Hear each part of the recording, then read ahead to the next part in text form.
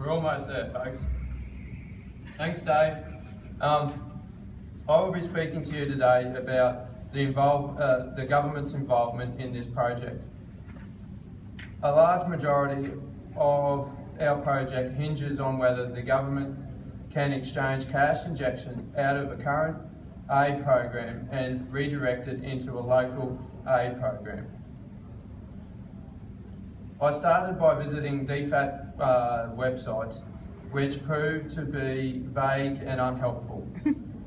With the help of David and Claire, I developed a set of questions that I sent to different ministers, with the hope of getting answers. I, ha I had mixed results. The Foreign, uh, the Foreign Affairs and Trade Minister told me to look at the DFAT website. Well, this was unhelpful. But the Agricultural Minister was more helpful. Even though I didn't speak with him personally, I did speak with Mr Martin Walsh, Director of Horticulture Policy. Mr Walsh indicated that there was another group in Tasmania tr that tried to lobby government to give them some cash, uh, uh, aid cash, and inject it into an aid program. The general response to the government's response to this request was that the money was needed to pool with other countries by, to buy food at the right price and at the right situation.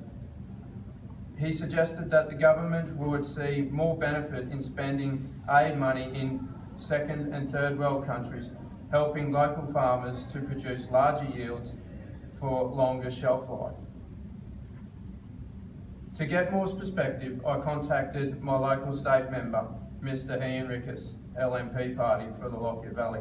Mr Rickuss told me that this was a good idea, however, most of the world can feed themselves, therefore not needing any more assistance from the Australian farmers. The only exception was Africa, and their problem was due to corruption, turmoil and political unrest.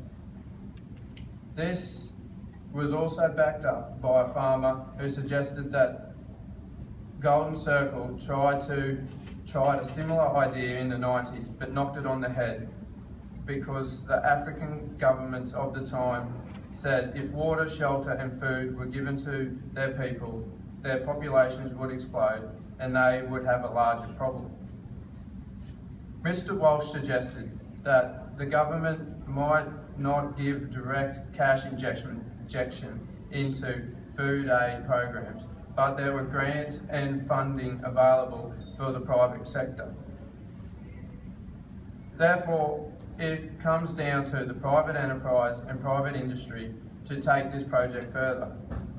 In conclusion, we now know, you, you now know, uh, as the audience and are aware, there is an out-of-spec problem out of spec veggie problem and there is a chronic hunger problem.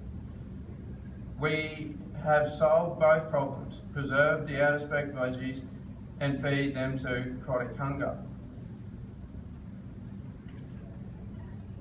Simple, uh, you might think this is simple, but if it was simple, we wouldn't be standing here right now. At the beginning, we started with a great idea, but we discovered that at this point in time, the challenges outweigh the return. Large and existing manufacturers factories can't handle such low volumes. Therefore, smaller plants would be needed to set up, be set up in key growing areas.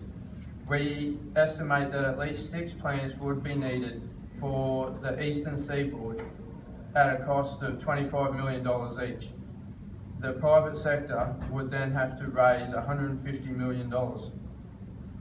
The quantities of these out-of-spec veggies would still be would be too small to run profitably and efficiently without specific crops grown. And no farmer in their right mind is going to grow a specific crop for aid unless they're going to get paid for it.